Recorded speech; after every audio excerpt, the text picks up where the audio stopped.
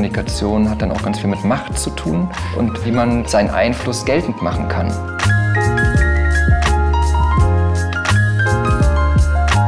Fehlendes Nachdenken macht empfänglicher für Verschwörungsnarrative.